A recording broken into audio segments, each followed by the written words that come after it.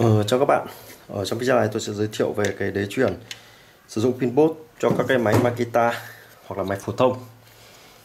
Ở các máy Makita hoặc máy phổ thông thì nó sẽ có hai hoặc là ba ngàm kiểu này.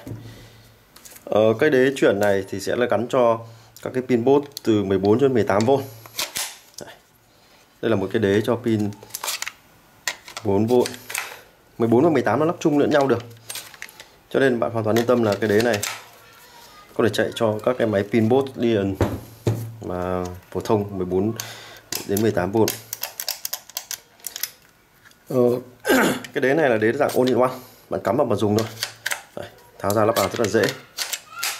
Đó là pin Makita. Ở đây tôi chỉ có máy 18V thì test thì pin nó sẽ hơi yếu một chút bởi vì cái pin tôi đang có là pin 14 Đấy.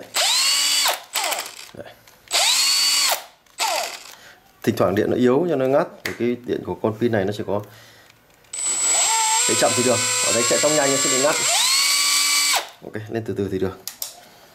Đấy, tháo ra cái pin này cũng khá là dễ.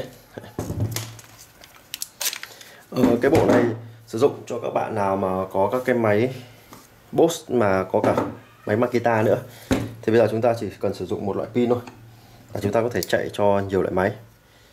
Ở trước thì tôi đã có cái video mà độ ngược lại tức là máy Bose. Sử dụng pin Makita thế đây là cái phiên bản ngược của nó. Thì uh, bạn có thể mua cái đế chuyển này trên qua Zalo hoặc là chat với tôi qua Shopee hoặc là Zalo. Xin các bạn theo dõi.